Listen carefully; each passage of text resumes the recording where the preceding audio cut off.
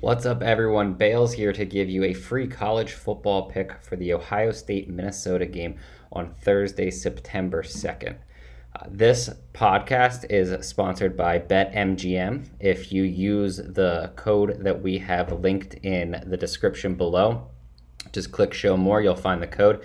Uh, you will receive a risk free $600 welcome offer from BetMGM. So I would go ahead and do that because that is where we are taking the odds from for this game.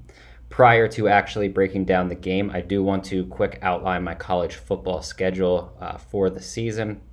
I think that's rather important. You can find uh, my bets in several different places. One, on videos on this channel. So you're going to want to subscribe, turn on the notifications because they are time sensitive as the lines change uh, relatively fast generally but I will post videos on this channel throughout the season. Two, I will have bets on betkarma.com. They're completely free. They will be articles. Uh, you can read them whenever you want.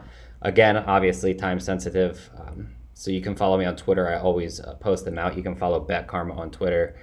And uh, three, I will be posting bets on my Twitter. As always, those will also be free.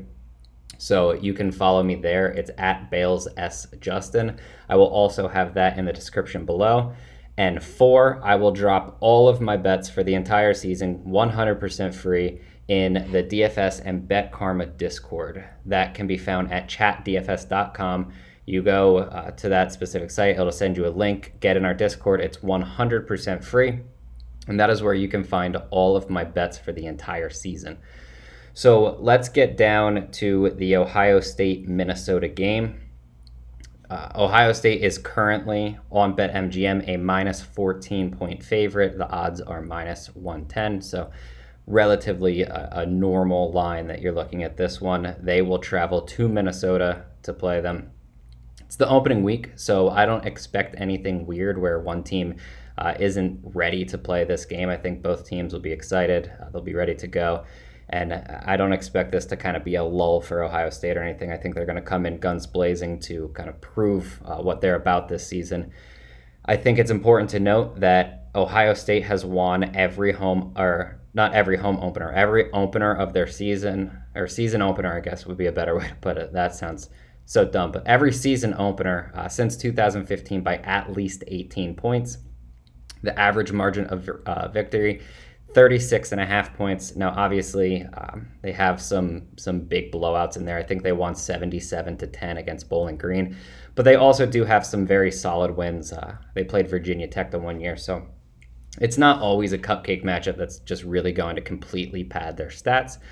Uh, they do come out firing in most cases. I would assume that this is going to be the same this season. Uh, just looking at a little trends from 2020, Ohio State was only four and four against the spread.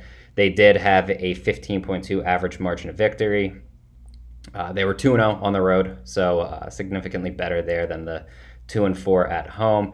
Uh, they won their road games by 26 and a half points, but once again, only two of them because it was the COVID season. Minnesota ended the season um, four and three against the spread. They their average margin of victory was negative 2.9 points, meaning they lost uh, by an average of 2.9 points. And then uh, they were one and two at home, so not great, and they lost those games by an average of 16.7 points. So when you look at this this game, I think it's pretty cut and dry that Ohio State wins. I don't actually think that Minnesota's a live dog. I think the big question now becomes do they cover 14 points? Two touchdowns is quite a bit. Um, and one of the big things that, that's going to control what happens is who controls the tempo. Last season, Ohio State ranked 43rd uh, in plays per game. Minnesota ranked 77th, but if you only take their final three games, uh, they averaged slightly under 67 uh, plays per game, would have ranked outside of the top 100. I think it's pretty clear that when you look at the talent on both sides and what they have to do, Minnesota is going to want to run the ball. They're going to want to run out the clock. Uh, meanwhile, Ohio State is they have several ways to beat Minnesota. Um, so Minnesota doesn't want the ball in their hands. They, they want to kind of make this game as short as possible. They returned all five starting linemen uh, from the 2020 season. They added two starters from the 2019 season that were out with injury in 2020, and they added a two year starter from Utah State, meaning Minnesota has eight offensive linemen. Uh, that are viable options this season. It's going to be a really, really good, experienced group. And then obviously, Mohamed Ibrahim is one of the best running backs in the country. Uh, it, it, just makes sense that they're going to feed him in this game. They're going to try to uh, control what happens with the run. I don't think that they're going to want to get into a shootout with Tanner Morgan um, trying to come back to his his former self and uh, that he that he flashed in 2019. Very good season in 2019. Took a massive step back, which I know a lot of people were kind of predicting in 2020, but just the way that he regressed was it was pretty crazy. Um, so I guess the question then becomes how effectively is Minnesota able to run the ball, uh, waste the clock, shorten the game, stop Ohio State's offense uh, from being able to hit those big plays and everything. If you look at it, they essentially need to control the trenches. Um, I I know that sounds like it's going to be easier for a team like Minnesota. And I think generally on the season they will because they have so much experience at offensive line, so much depth that if anything happens, you know, they're just going to replace them with with another solid starter. The problem specifically in this game is that Ohio State uh, they rank fourth in their defensive line uh, rankings for Phil Steele heading into the season.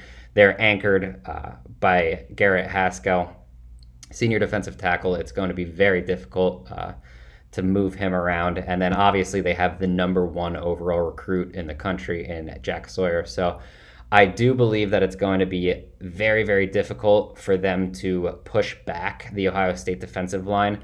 The big question mark that, that kind of is floating around as Ohio State is what happens with the linebackers. They have very little experience there. Um, no one is really overly confident in the linebackers. It's just a question of how much do you think that matters uh, versus Ohio State's defensive line kind of holding their ground in, in this type of a situation.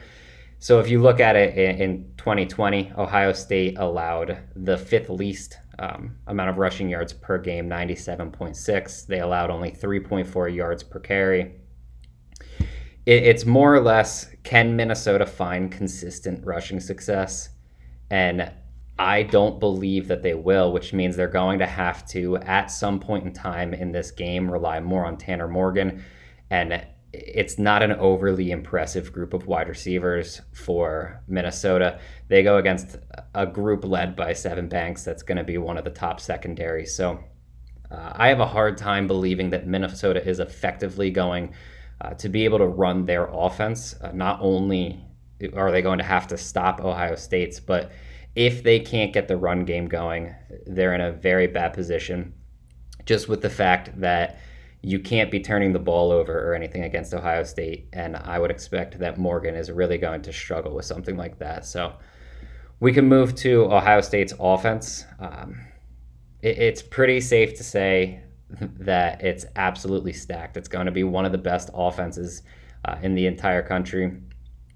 Uh, they have Phil Steele's number two ranked offensive line group, so they should be able to control uh, more or less the way that they want to play. Master Teague's coming back. He's averaging 5.5 yards per carry throughout his entire career. Um, TreVeyon Henderson is a top 10 recruit that they're bringing in. He's going to uh, see plenty of carries, especially if Teague can't get it going early. So, multiple backs that they use. They have a few others that they can spell in and out as well. So I would assume that they're one of the best rushing attacks in the entire country. They also have the best wide receiver duo, probably the best wide receiver group in the entire nation. Um, Chris Olave didn't enter the NFL draft. He came back. He'll pair with Garrett Wilson. It is the best college duo uh, in all of football.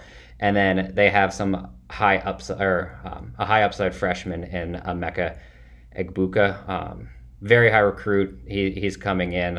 I wouldn't be shocked to see him kind of come along slowly, especially with uh, Wilson and Olave doing you know most of the heavy lifting.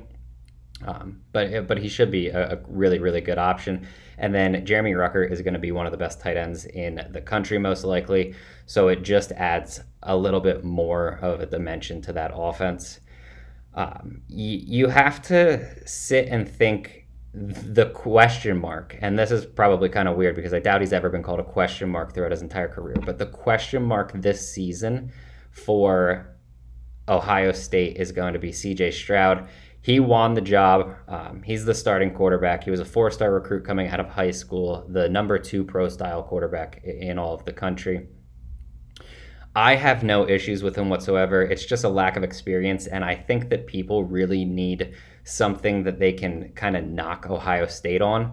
So this is where it's going. Uh, Ryan Day has con- uh, consistently featured elite quarterbacks. Like, um, over and over, we, we see Ohio State just their quarterbacks dominate left and right. It's not really going to stop, I don't think, with Stroud. I think he's performed well enough that we can pretty much trust him, especially with one of the best offensive lines and the best wide receiver group in the entire country.